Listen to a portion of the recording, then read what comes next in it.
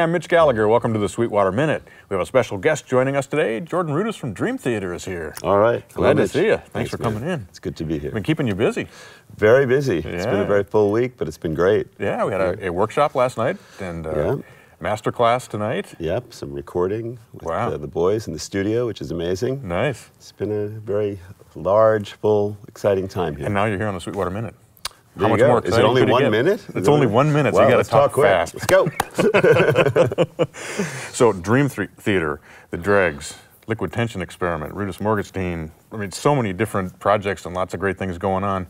Take a step back and tell us how you got into playing uh, playing music. oh, well, um, I got into it uh, by starting to play the piano at a very young age. Uh, it was kind of surprising for everybody because I hadn't taken any lessons. And I was uh, playing in my second grade classroom on the little piano that they had in the corner. Uh, until one day the teacher called up and said uh, to my mom, she said, Hey, your child is playing the piano so well. Right. My mother was like, What are you talking about? He doesn't know anything about the piano. We don't have a piano. So, uh, and she said, Well, you should really get one because he plays very nicely. That's incredible. So uh, that's kind of how it got started. Right, right. So, what, what was it that drew you to the piano? Do you remember? I just, you know, was sitting there in the corner and I would reach over and I kind of would plunk a couple of notes and then I think I kind of understood fairly quick, quickly the relationship between them. Right. And, uh, started to enjoy playing. So, Right, right. Yeah. Now you have perfect pitch. Yes. Correct? At that age, were you hearing things that you wanted to pick out and play? um, it's hard to remember. This was in second grade Sure. exactly what was happening. So uh, I guess because I do have perfect pitch, it's probably a little easier. One, I mean, I imagine that one has to say, okay, this is this note, that's that note, before things start to come together. Right. But uh, I mean, once they did, it, that's probably the reason that I was able to uh, understand. Okay, if I hit that note, it'll make that sound. If I hit that one, it'll make that sound. Right, right. Yeah. Right. So you must have progressed very quickly because at nine you entered Juilliard. Yeah. Well, things definitely happened pretty fast. I had a um, one of these teachers that comes around to your house, like, and you know, gives you a half hour, half an hour lesson. They don't do that so much anymore, but this Right. guy did. And I started with the little red book. Was it the Thompson book or something like that? And it was only a couple of lessons at that, and then he kind of took that away, and he started to teach me all the chords, which I was really interested in because I was just like kind of figuring out how to play songs.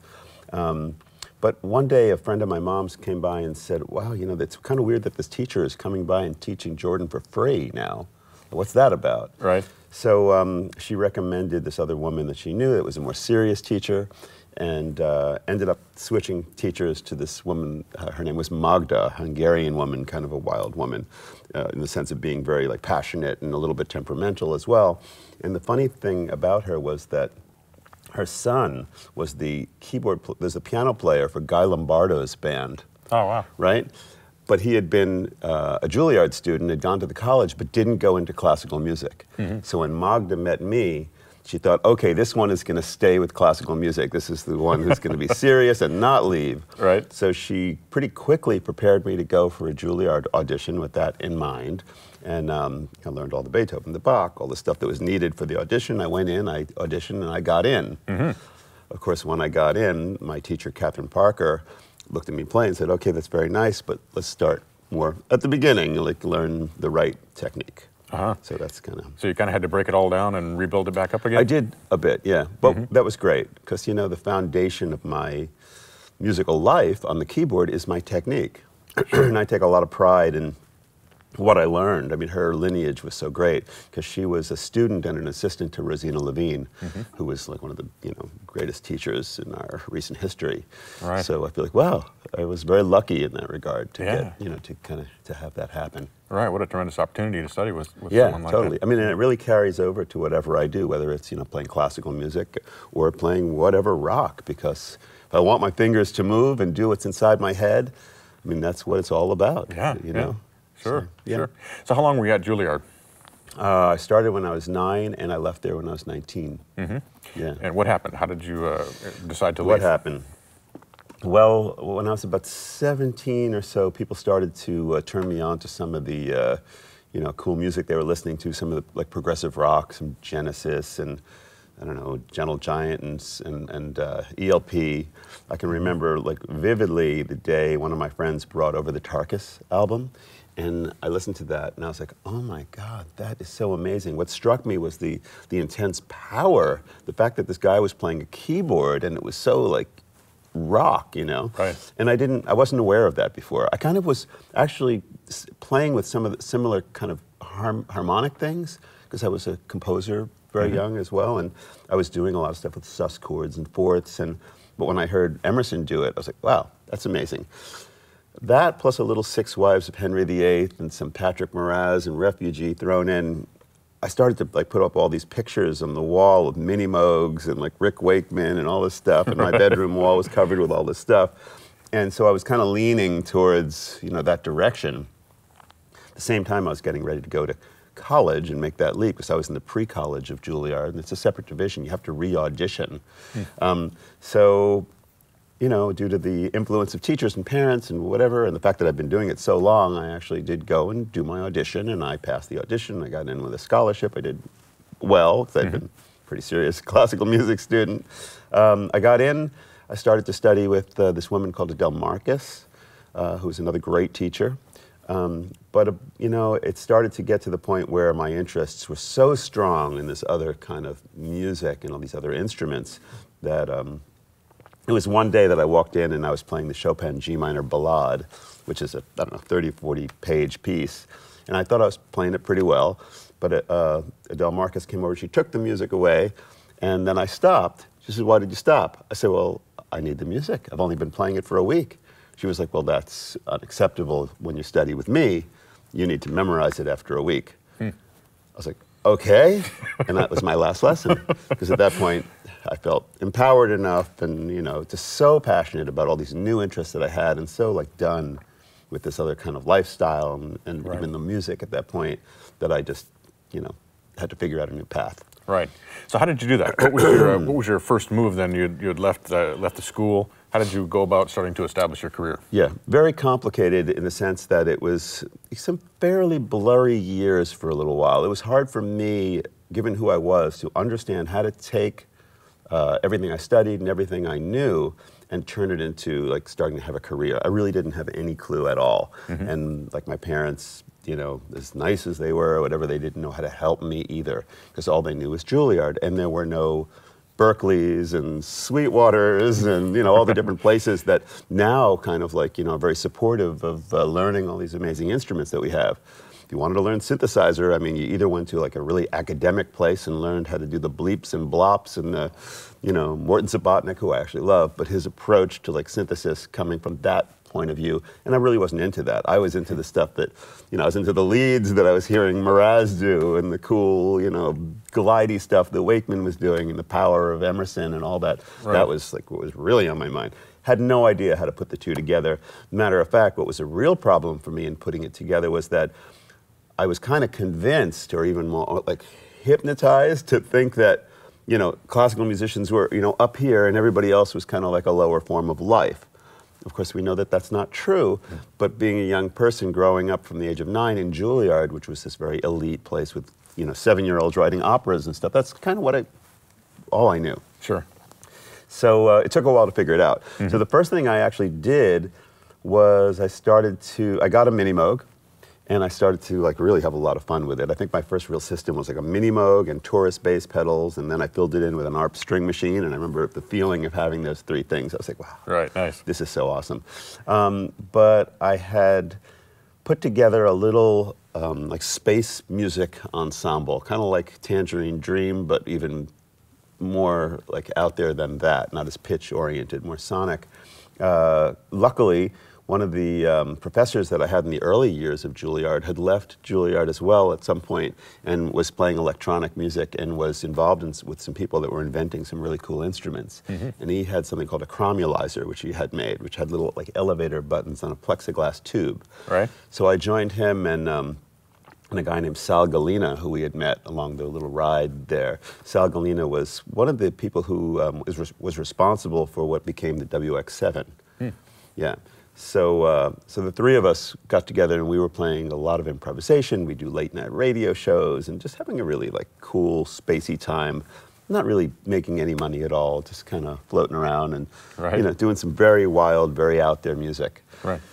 You know, so different things happen through the years. Um, you know, people say, "Well, how did you, you know, how did you make a living? What do you do?" Da, da, da. Well, one thing, I, I, I had moved to Baltimore. I joined a band uh, that was like a uh, kind of one of these local bands, but playing a lot of gigs, quite popular, and that kept me going for a few years. I had played in a lot of hotels and a lot of bars, and I'm always thankful that my mother used to bring home the sheet music, the guitar music with just the notes and the chords, and I was always, you know, playing those and Right. one day somebody said, how do, you, how do you know what to play? You know, like, it's just a note, like the single melody note and the chords. I said, what do you mean? And, and I was like, you know, I'm just playing it. She said, but yeah, but there's no, what you're playing is not on the page. I was like, well, I don't know. This is like, this is, you know, this is what I'd always been doing. So that skill was something that's very, very natural to me. And um, so luckily, I was able to support myself whenever, you know, trying to figure stuff out. I'd say, I'll call up a restaurant and go in, hey, do you need a pianist? So, um, so there's that part. And then uh, what happened was that, uh, well, a lot of things, but I'll skip to the, to the part about realizing that a very nice way of kind of getting into the industry a little bit would be to hook up with some of the companies or one of the companies doing the synthesizers. Right. So, um, called up my good buddy Jack Hotop, who I knew from some years ago, and I told him my interest in that. And he was like, "Wow, you know, we actually have a uh, position for product specialists that's open. Why don't you come check it out?" Right. So I went down to Korg, and I got the job, and that led to this whole phase of life where I was getting in front of people and uh, writing cool music, making cool sounds, making demos, and meeting a lot of people in the industry. For me, it was a perfect kind of bridge to get from where I was, classical musician, turned into somebody who didn't quite know how to, to interface and meet the people that were involved in this other kind of music that I enjoyed. But here I was in the industry, meeting a lot of people, Right. starting to get noticed, and some you know gigs came up. Like uh, I remember working at Korg, and one day one of the guy, one of the salesmen or whatever, came in and said, "Oh, Jan Hammer wants to talk to you." You know, I Right. think I think they had actually waited like a couple of weeks after he called because it's it's a little difficult sometimes for those people to uh, take somebody who's an employee and you know empower them like that. But they did. Right. They did come in, and I w- ended up going to Jan Hammer's house to uh, program the Wavestation. It was at that point for his sounds, and then he asked me to be in his band with Tony Williams. And we did a four-piece thing and toured, and I played all the orchestrations. He played his guitar, Right. and that was one of the first things. And working with Vinnie Moore was uh, the guitar player was really a key um, thing as well. And in those days, I was also starting to work with the Paul Winter Consort.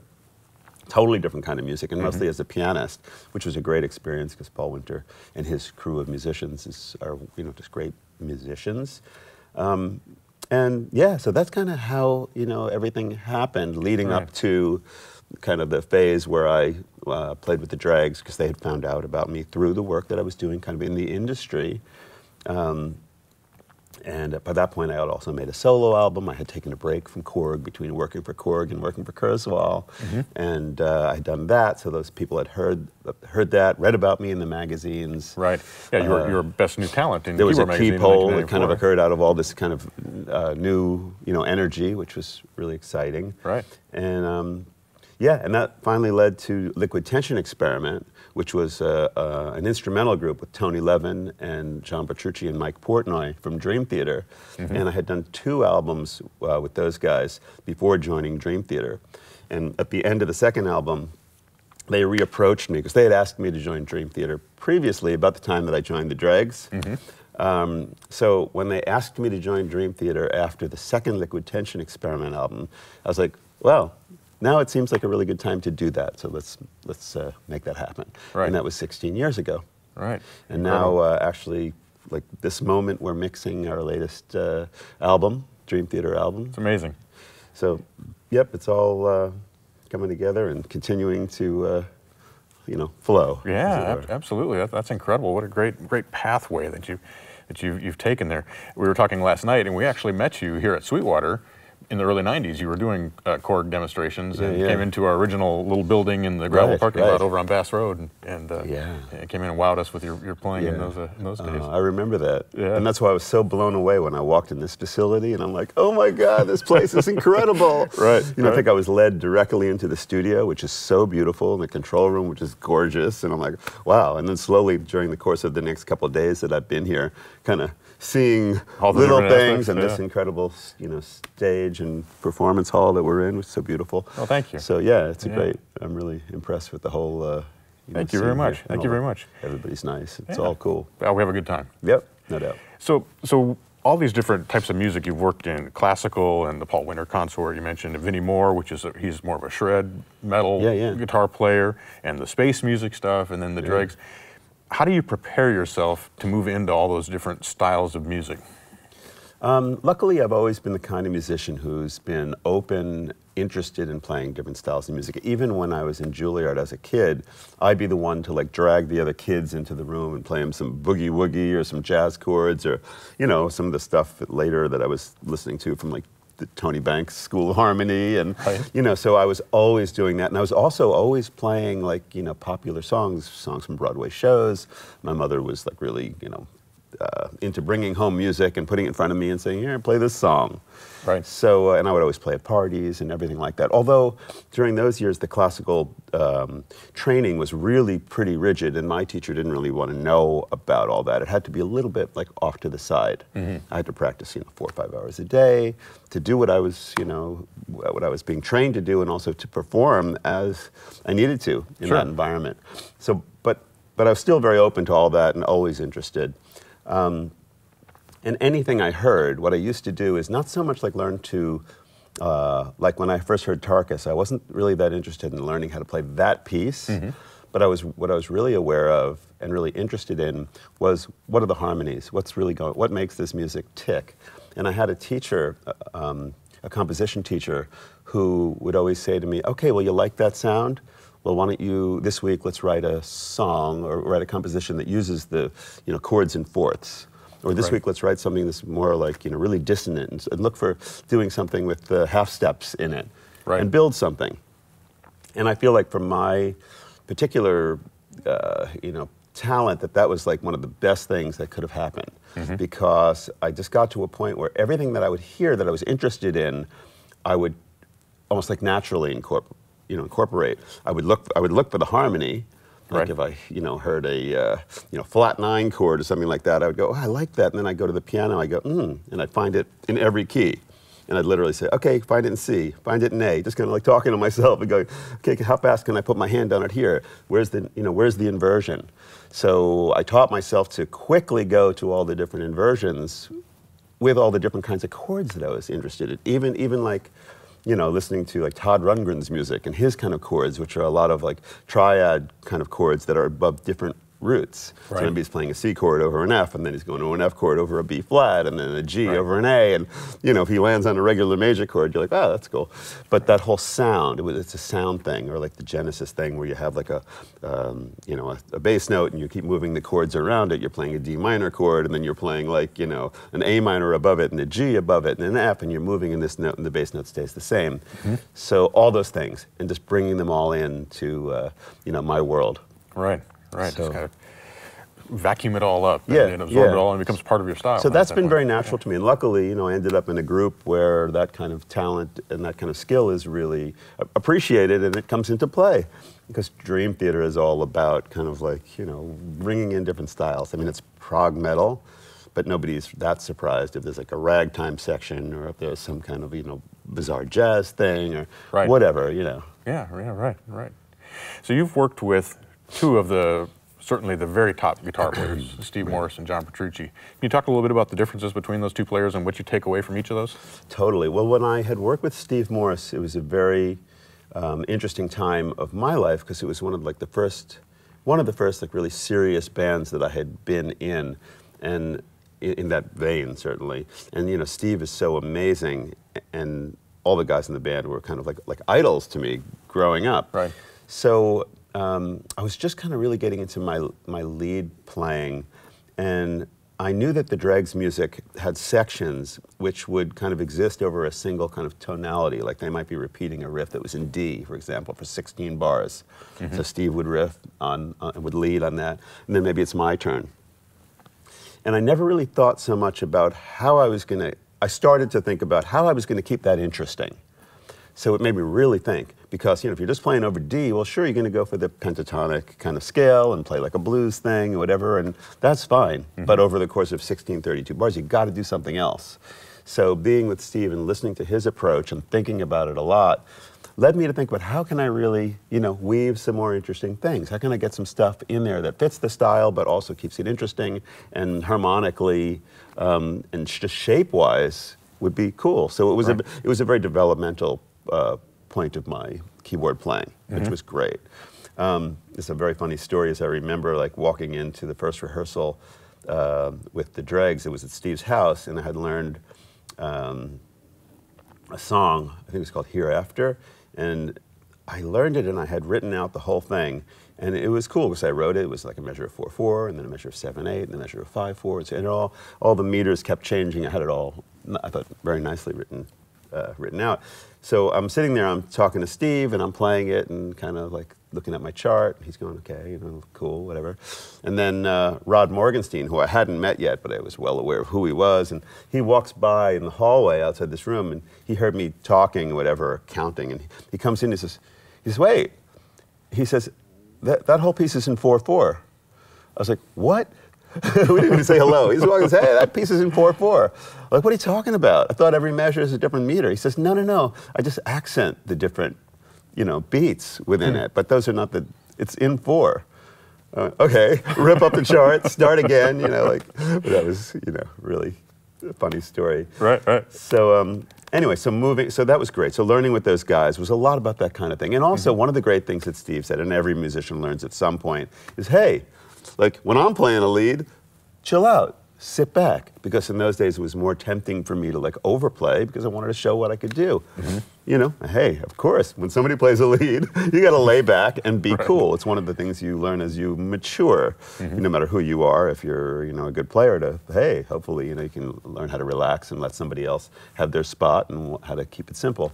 So. Um, so that was a really great thing too. So then, you know, kind of fast forward to the John Petrucci days. And here, you know, when I first heard Dream Theater, what really struck me about it is here they were, they were playing progressive music with this metal, you know, edge to it, but the chops were so like absolute dead on. And I hadn't heard anything like that before. Never heard that combination with that kind of virtuosity. So it really caught me. Not that I was that much into metal, you know, I had played some guitar. I, I liked playing Judas Priest and ACDC, and it was all fun. Um, but it wasn't totally my thing. But I could relate enough that the progressive and the metal combination with those chops really struck me. Mm-hmm. So when I when I joined that group and started to work with John, here was somebody that I was, even though I was coming from like Juilliard and he was coming from, you know, his background, which was like a year of Berklee and maybe some private study, we were very much like connected because of our our work ethic at mm-hmm. the instrument and our desire for like you know kind of like perfection or as close as we could get to it.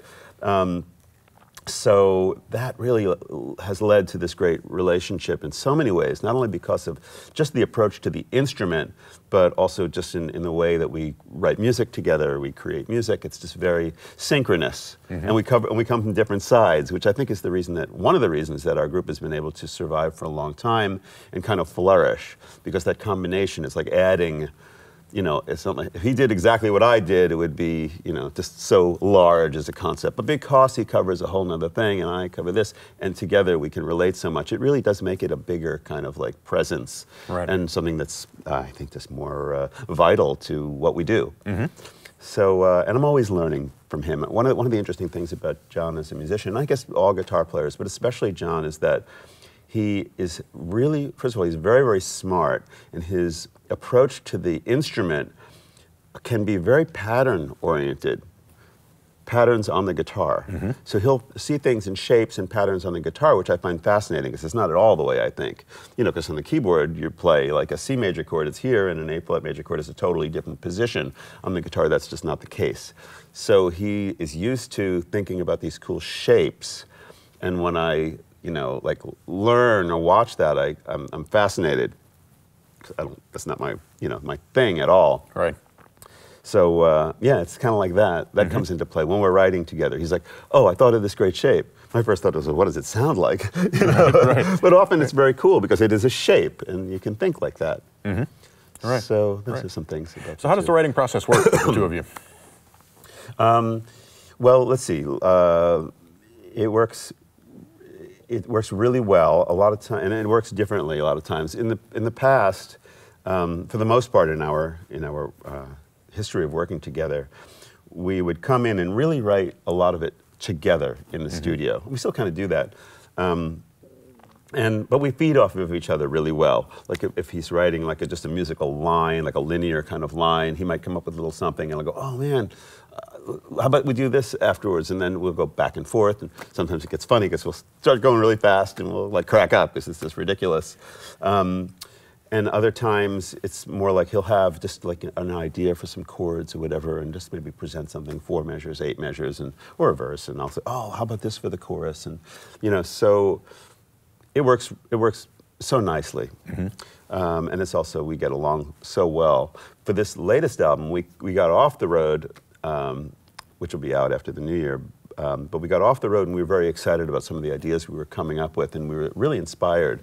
So I can remember going back home, sitting at my little digital piano in my house and recording like a ton of stuff. And I'd be sending him stuff like every day, like check this out, check this out, all kinds of ideas. And when we got together, we kind of weeded through it, and then we would sit, you know, just literally and just kind of try out some of the stuff, and you know, get inspired and go back and forth. It's a lot of back and forth when we're working together. But a lot of the seeds are kind of done now, you know, on our own, and then we come together and, and do it. That's got to be fun.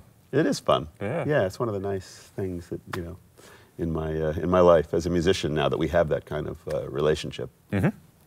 So last night at the workshop, uh, when you first came out, you sat down at the uh, grand piano Yeah. and you improvised a piece. Right. Can you tell us a little bit about your approach to improvising? Do you start with a chord progression, and do you have a, a seed of a motif or something in your in your uh, brain that you're going to Yeah, work yeah. off of? Yeah, I mean, I could, but it's generally not necessarily how I go into an improvisation. It's more about like a mood or a feeling or. Uh, like last night is a perfect example. I thought I was going to start and play a, a version of uh, Court of the Crimson King.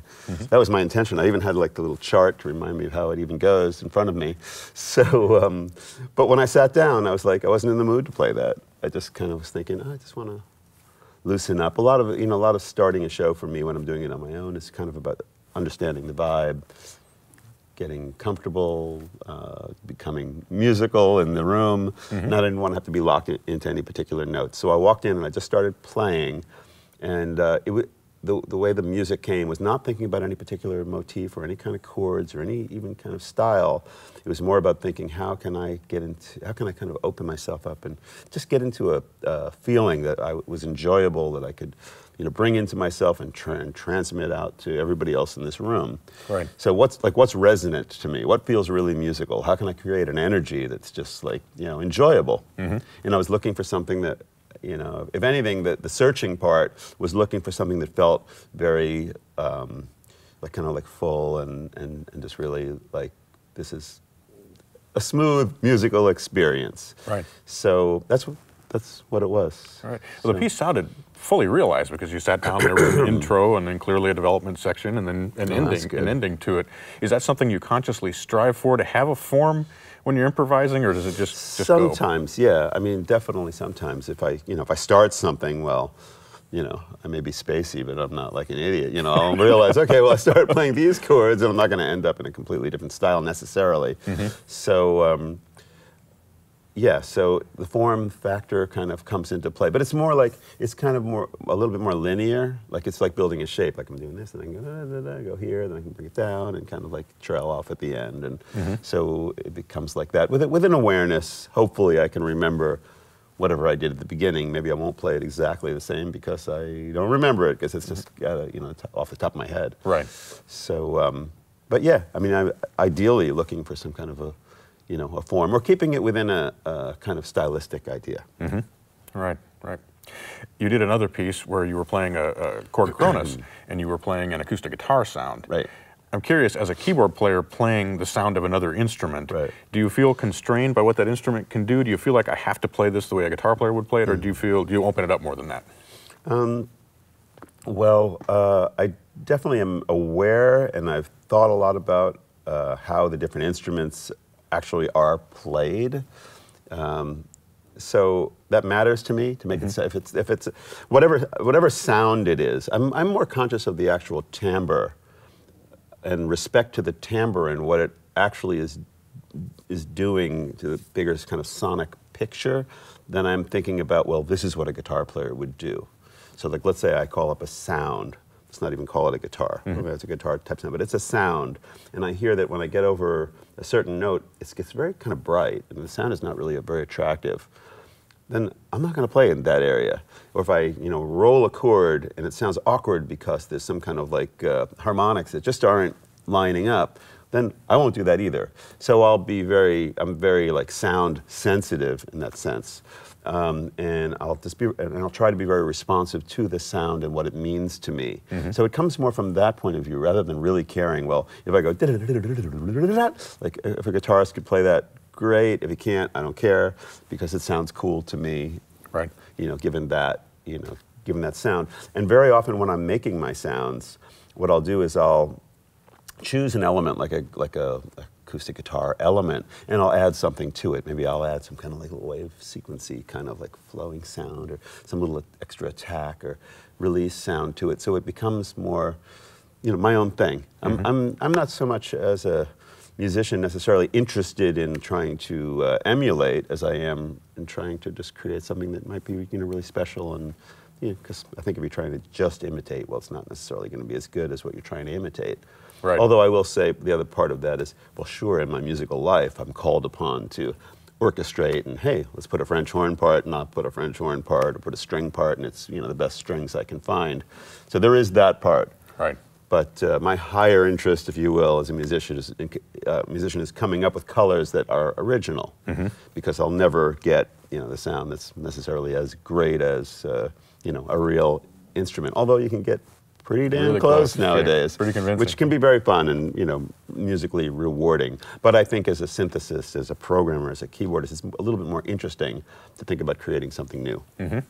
Well, that segues very well into our next topic, which is you are heavily into technology and looking at new ways to approach music. Yeah. And one of those is with your company, Wizdom Music. Can you right, tell us right. what's that about? What do you do there? Okay, so um, years ago when the uh, iPhone first came out, I was uh, sat and I was playing with one, and, and there was a very uh, preliminary kind of like piano app with like one octave and like a some buzzy sound, whatever. And I uh, was just sitting down, I was playing, and just really focusing on it because I had some ideas in mind.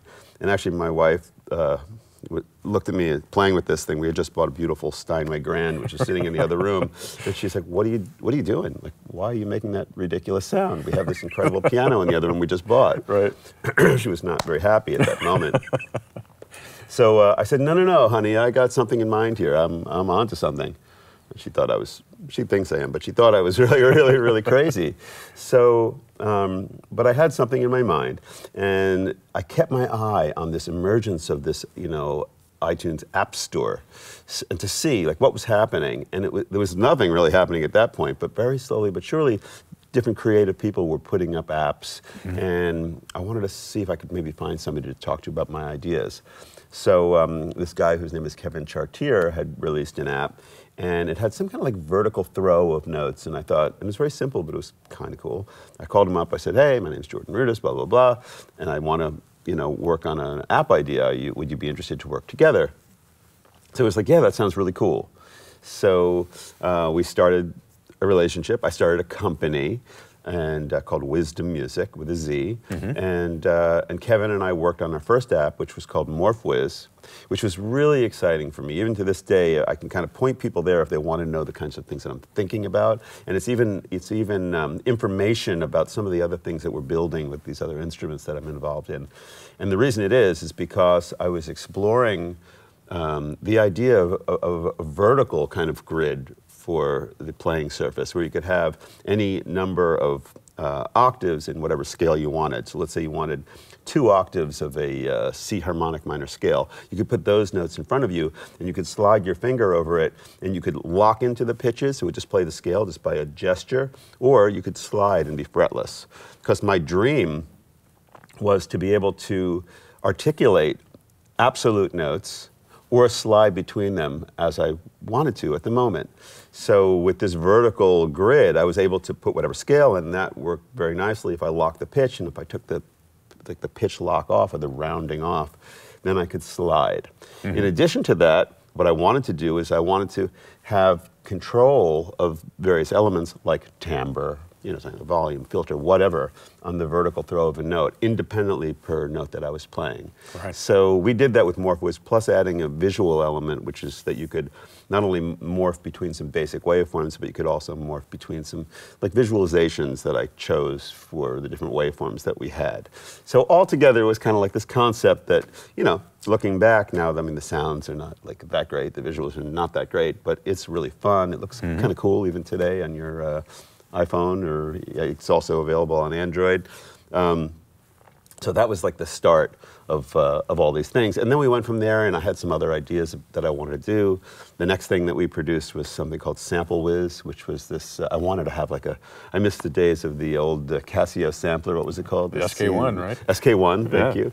Uh, I love that thing. I Yeah. played with it all the time, and I thought, you know what? Wouldn't it be great to have something like that on the iPhone that was, you know, fun and even on a like a higher level, you could do more. Right. So um, we created SampleWiz, and on that, it's pretty cool because you can do things like you can sample a sound and then you can put it into what we call modern mode, which will just change the formants and the time to keep everything more time aligned. And so you can take one sample and pretty much play it through the range, which is fun. And then I woke up one morning, and my, I called up my programmer and I, and I said, Kevin, I said, how about allowing um, us to play on the waveform. I want to put my finger on the different areas of the waveform and actually hear what's under my finger at that point and be able to use that as like a performance kind of technique. And then I want to be able to go vertically in whatever Right. zone and also do that and independently per finger. And he was like, oh, okay, I think I can do that. I was like, well, great. Yeah, nice. cool.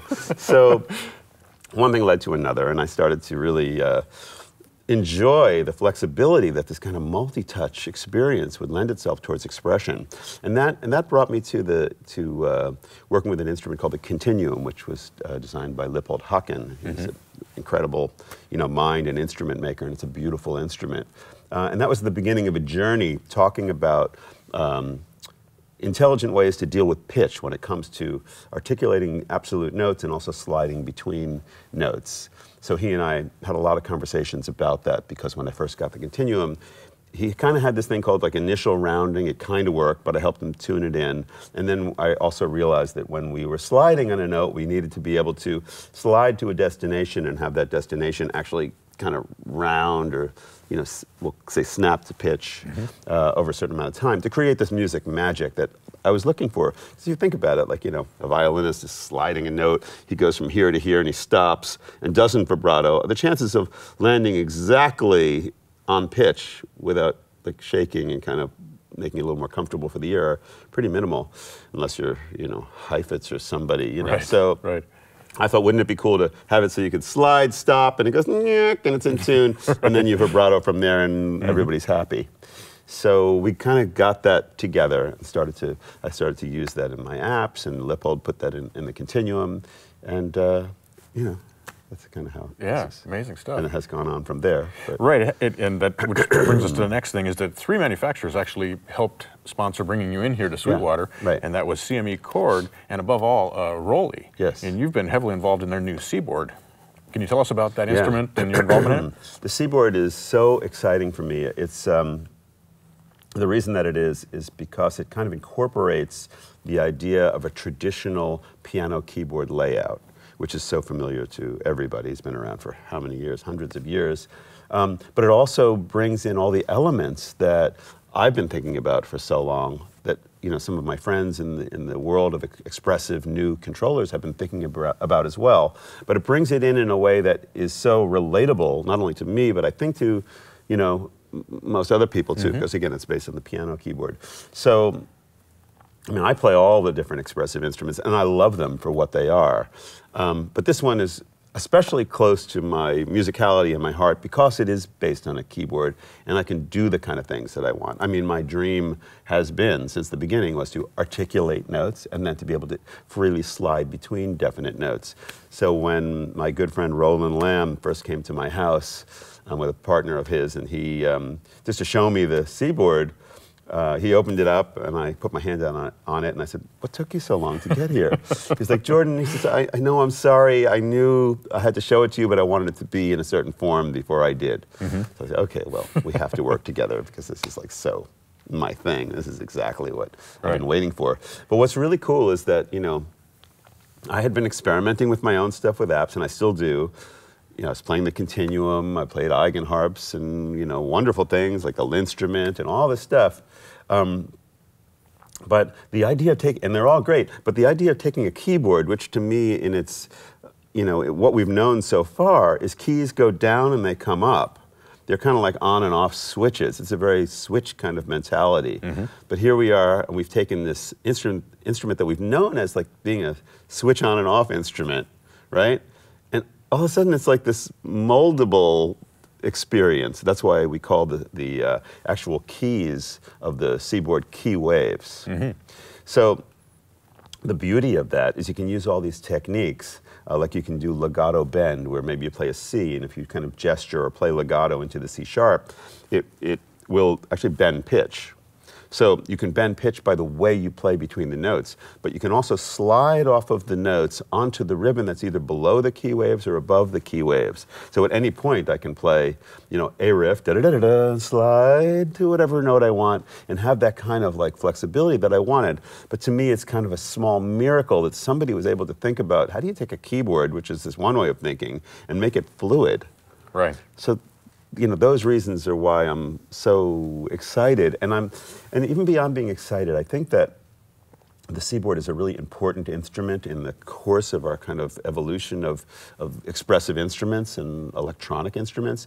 The reason I do is because all these other guys have made great things. They're all wonderful. They're all, for the people who are aware, they're all changing the game. Mm-hmm. But they're too left of center to really make a difference. This instrument deserves to be recognized by musicians who are, you know, making any kind of music, especially like with the new product that they're making called the Rise, which is a, you know, small two-octave controller with some sliders on it and an XY pad. I mean, something like that. Anybody who has a keyboard, a small keyboard and a computer that's arranging, composing, making music, kind of needs to know about it, needs to be aware of it, Right. um, because it's it, it has the potential to really change the way that they make music. Anybody who needs to put a violin part and they need to have a vibrato, well, instead of using the canned sample or a modulation wheel to do that, hey, with this instrument, you can put your finger down on it, you can, you know, shake your finger at the vibrato speed you want. Uh, it also has something called slide, and in, and in slide is when you actually move your finger on the key and you can move it up and down almost like a mixer. And it's all, and if you're a, like a keyboard player, then you can totally start to take advantage of all this sophisticated kind of touch, this what, what they call 5D touch. Mm-hmm. Because there's so many elements. You can press into the key, you can go left or right, you can, you can do the slide, it'll recognize how fast that you're lifting off of the key. So all these kind of things make a very kind of organic, expressive experience. So everybody from keyboard players who want their touch to mean more on an instrument and finally really connect in a way that the classical musicians always hope that we wouldn't, you know, by saying, oh, it's not organic, it's not real. At this point, it's almost like directly connected with your physicality in a way that, I don't know, never experienced anything like it. Um, so I think it's, it's important for me not only to be excited about it, but to also help it get, you know, out there and get to be accepted because of course there's a little bit of a, you know, a, an acceptance, uh, you know, learning curve, if you will, of it because it, although it has a piano-shaped keyboard, it is a bit different. So people have to embrace it and find out about it, be educated, and give it a, give it a go. Right, right. So- The expressive possibilities are, so amazing. Listening to you play it, you were playing uh, last night again. You were playing some kind of synth sounds, but also cellos and different instruments, and the, Yeah, the yeah. expressiveness you can bring to that. Do you have to have uh, virtual instruments that are programmed to accept what comes out of it? Does it have built-in sounds, or how does that work? Yeah. Um, well, like the Rise, the newest one, actually ships with uh, something called Equator. And that works like out of the box. It's just easy. You plug it in and it plays. And when your fingers go down on, on the seaboard, basically what's happening is they are um, transmitting on different MIDI channels. So with some software that's friendly to that, you don't have to think about anything complicated about having multiple instances, about setting up different programs. It's just straight ahead and it's wonderful. Um, with some other things, though, you do have to think about that. Um, so one of the one of the um, responsibilities of ROLI as a company is to start to create little sound sets for people who are using the various popular virtual instruments. So if you're using whatever Vienna instruments, East West stuff, uh, you know, Spitfire, hey, well, we've got a sound set, you know, for Right. you. I think that they really need to do that so people can, you know, not have a hard time and just get use it to access the sounds that they love. So yeah, it's totally possible. They make something called polythrough that actually uh, will easily make multiple instances of an instrument and make the assignments that you need, like pitch bend per instance. Um, so ROLI, and the other the other difference, I guess, with ROLI compared to some of the other companies that are doing you know, interesting expressive instruments is ROLI is able to take a very active lead and go out there and talk to all these companies, big and small, about how to make this really work. You know, Right. That's that's the you know that's a, that's a major thing. That kind of outreach and getting getting you know all the coders in these various companies to accept the fact that okay, there's all this information coming through. How are we going to use it and how are we going to make it really possible? Right. It's a little hard to ignore right now. You know, they Yeah. have to understand that people are really interested in this stuff and make it possible to make it, you know, seamless. Right, right. Well, we're very excited about it. I think it's a Cool. tremendous development.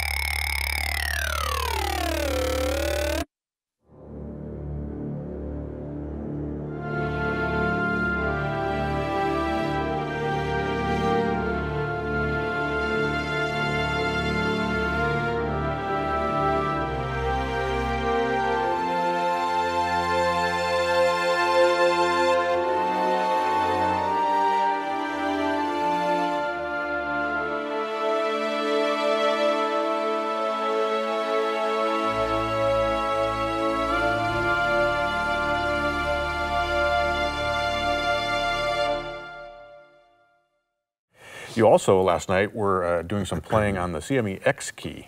Tell us about that. Yeah, so um, the Xkey is, you know, it's, uh, it's an amazing little instrument. It's um, extremely thin. It's got real size keys. It's velocity sensitive. It has polyphonic aftertouch. It's a uh, it's, it's like a little friend of a keyboard player's. It's it's uh, it the new version that I was introducing is actually Bluetooth It was amazing. capable. Wireless. Yeah. So for me, um, working with the guys at CME, they're all about like mobile music. That's their whole thing. Uh, it's a Chinese company, really, really cool guys. Mm-hmm. The guy who runs it, this guy Zhao, is a good friend of mine, um, and we've been working together to uh, you know think about what kind of instruments keyboard players in this case will really want. So what we've come up with is something that I think that it's just like the kind of thing that any keyboard player would want to have with them. It's just so it's so fun. It's so light. It's built well. It does the trick, and it's just a really cool little thing. There's nothing Yeah. else like it. No. You know, the only thing to say about it is that you know it doesn't have the full throw of a uh, you know like a piano kind of action. It has a short throw, but it is velocity sensitive and it's sturdy. I've taken it on all these trips throughout the world, and Right. you know, um, so it's like cool. You know, people should know about it. Mm-hmm. You know, check it out. Put one in their suitcase and have some fun. You know, it's even great. I, I have one. Uh, I'm a guitar player with limited keyboard skills. Yeah. Past my piano proficiency in college. You know, that was about the extent of it. Yeah, yeah. And uh, I have the 25 key sitting on my desk in my studio because Yeah. it's so convenient to have a tiny keyboard Yes. there that just for entering notes and for playing in It's parts and doing perfect, things. So it's, it's ideal for Right, that kind of situation right. as well. Yeah. I was sitting in my uh, studio, I don't know, about a month ago, and I had the Xkey Air there, and I also had a prototype of the Rise Seaboard, and they're both Bluetooth capable keyboards, and I'm thinking, wow. I'm like the only one in the world right now who has like totally wireless. these two, uh, yeah, two Bluetooth keyboards. Like, Nice. it was kind of a fun feeling. Right, right. That's awesome. That's And also, you know, it's what's great is that you know I consult with both ROLI and CME, Mm-hmm. and you know everybody really gets along very well. The Seaboard is so different, really, than the Xkey, Right. That it's all like you know, it's all it's all good. They're complementary almost. They are, yeah. Think about it that way. Totally. Yeah, yeah.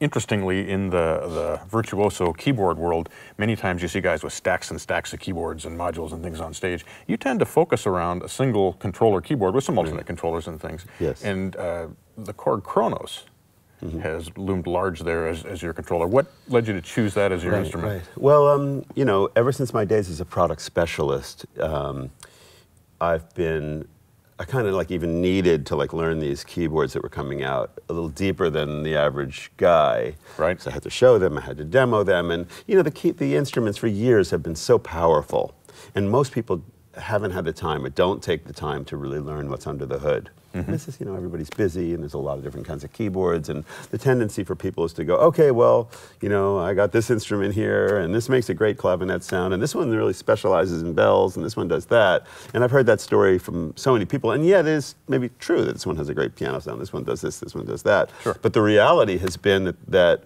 even going back 10 years, you could get an instrument and program it, and you could pretty much do everything that you wanted to do on the one instrument. Mm-hmm. So my approach, just first of all, because I was working for the companies and I was thinking along those lines, was to get the maximum out of the out of the keyboard. But the other reason I was never really into doing this is because I noticed that every time keyboard players do that, they lift their hand off this phrase early to get over here. Hmm. So, and I hated that. It just, you know, goes against like my classical like musicality sense, I want to be able to finish the phrase. Mm-hmm. So I thought, okay, well, what I can do is I can build my splits and layers, and I can sample, and I can get everything that I want to happen out of one keyboard. Um, and and for many years, also the other challenge was that even doing that, there would be breaks in the sound when I would switch. So I would. So many years, I'd just be incrementing patches and gigs, and you know, basically, I'd go through a, a gig and play 300 patches on a single keyboard. So, the biggest issue with that was that whenever the sound changes, the sound would stop. So if I went from program number one to number two, all of a sudden there'd be a little, you know, going back more years, there'd be a, a real delay. Then that delay got smaller and smaller. Processors get quicker, and then it's faster, but still the sound would stop. And I would tell my friends at Roland and my friends at Korg and everybody, hey, musicians don't want the sound to stop. That's like a, big rule, you know. We want the sound to continue. Right. So, um, and I got the feeling that they were kind of, you know, maybe listening a little bit, but not really, didn't quite get it. You know, this com- these companies are quite large and there's so many factors involved. But finally, after enough hammering from me and others as well, um, the, the guys started to make it happen. Roland came out with a version of the Fantom that had some nice kind of patch preserve and you know kept some of the effects, and it was very pleasant. And Korg then kind of upped the game a little bit and had like even more parts per combination, and uh, and managed finally with the Kronos to make it so that nothing got interrupted. You could be on a patch, it could have you know 16 different parts with different sounds everywhere. You switch the sound, totally different sound. You could still be holding something. All the reverbs and all the effects remain, and it's perfect. So to me, at that point, I was like, okay, well, my musical life just got that much better. I can have the, the layers I want. I can do whatever sampling into the machine that I want. I can do splits. I can do whatever. It's not going to interrupt, interrupt the sound. So I, you know, every year I become a happier keyboardist because the toys, the instruments get more musical. So, and that's really the case with the, with the Kronos. And people say, well, why don't you use like, you know, MainStage or something like that? And, you know, I think that those things are wonderful. It's great. I'm totally, I, support, you know, uh, computers and instruments and all the software. It's all great. But for me on stage, I wanted to have a dedicated instrument. I didn't want to rely on my computer. I go through so many sounds in a night. I don't think about that. I know the kind of people and engineers and musical minds behind Korg. I know what they put into making a musical instrument, a solid one piece. This is my musical instrument. This is what it does. Right. I've had enough experience to know that, you know, they're so robust. I take my Kronos all over the world. I've had like no problems with it. You know, and the whole last tour, I did nothing happened at all. So, I mean, you know, knock on wood. Right. But I mean, it, but in general, you know, the, I think that that my thinking about it is is true. I mean, you know, they make great stuff, and uh, it's sturdy, and it works, and it's musical, and it sounds great. My biggest issue is it's a little hard to, you know, and they know, you know, it's a little hard for me to press on the screen and, you know, without putting on my glasses and seeing what's going on. But Right. once it's all together and programmed, it's a total joy. And especially in my dream theater world, it works so well. Awesome. Yeah. Right, right. That's great. That's great.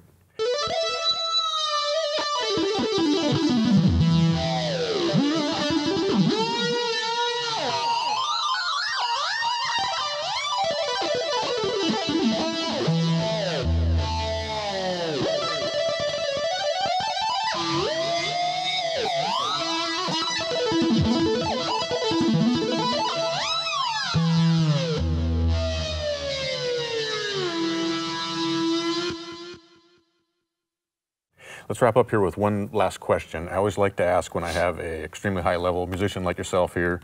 You've worked with everyone from Tony Levin to the Dregs to uh, David Bowie, Steven Wilson, uh, obviously Dream Theater. What is it, or what is the defining characteristic that makes someone an amazing high level musician like that? Yeah. Um, I find that all of the people that you mentioned are very, very focused. They're, you know, they have a passion about music. I think it's the passion about music that kind of leads them to just wanting to create.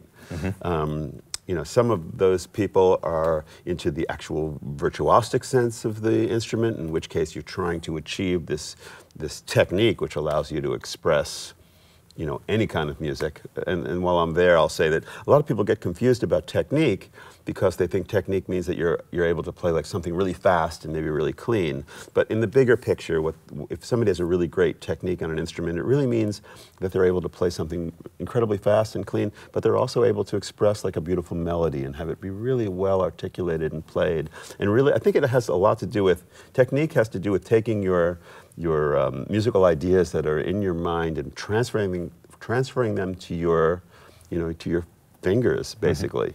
That's what it's about. Doesn't matter if it's fast slow. And somebody could say i like this player because he plays slow and it's great. He doesn't do all that fast stuff. Well i'm sure they're probably great. But if the player can play the bigger picture and articulate a really fast line and also play something really beautiful and slow well that to me is a virtuoso. So, um, yeah, so the common thread, though, is this dedication to music and expression and, and even to their art form. If they're not going to sit there practicing the guitar, like my buddy Steven Wilson, he's not sitting practicing scales today, but he's probably sitting, you know, in front of his uh, technology and working on a beautiful sound with the effects and building some kind of a color or writing some music and really thinking about the, the structure of it. And, you know, that's a constant kind of uh, um, work ethic that where you're constantly energizing what you have in your mind. Right. I think that's the common thread. Right, right. Awesome. Very well said. Cool. Right. Right. Jordan, we appreciate you being here.